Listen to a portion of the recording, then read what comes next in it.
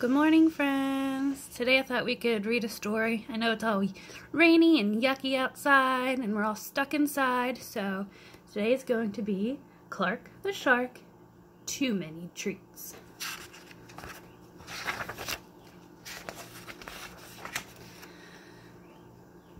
I can't wait for tomorrow, said Clark the Shark. What's tomorrow? asked Benny Blowfish. It's Treat Tuesday, said Clark and my mom's baking brownies. My mom's brownies are so yummy, they thrill my tummy, Clark told Amanda Ewiggle. Sounds great, said Amanda. Mom's brownies are so sweet, they can't be beat, Clark told Joey Mackerel. Have I said how much I love them? Well, once or twice, said Joey. Clark told everyone in the class about his mom's brownies. Soon all Clark's friends were hungry for them. Even Clark's teacher, Mrs. Inkydink, couldn't wait. After school, Clark hurried home, and what did he see on the counter?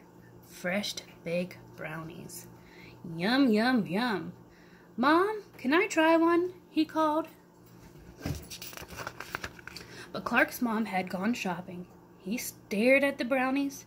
Someone should test them, he said, to make sure they're okay. Clark ate one brownie. Wow, said Clark, that's tasty. He eyed the dish. Sure, one brownie was good, but how could he know if the others were too? Maybe just one more, said Clark. So Clark ate another brownie. That's yummy too, he said. He eyed the dish again. Sure, those two brownies were good. But what about the rest? I can't let my classmates down. So Clark ate another brownie, and another, and another.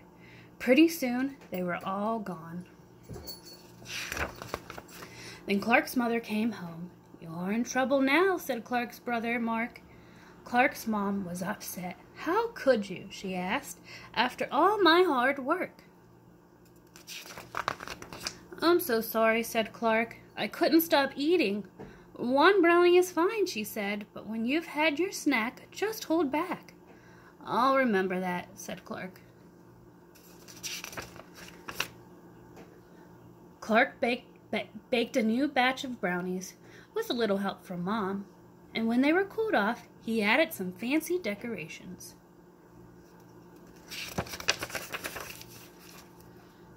At school the other day, everyone loved the brownies. Yum, yum, yum, said Billy Ray Ray. I could eat them all up. I tried that, said Clark, and I learned something. What's that? asked Billy Ray Ray. When you've had your snack, just hold back, said Clark. That way, everyone gets some. Mrs. Inkydink smiled. Words to live by, she said, if I do say so myself. The end. Thanks for watching.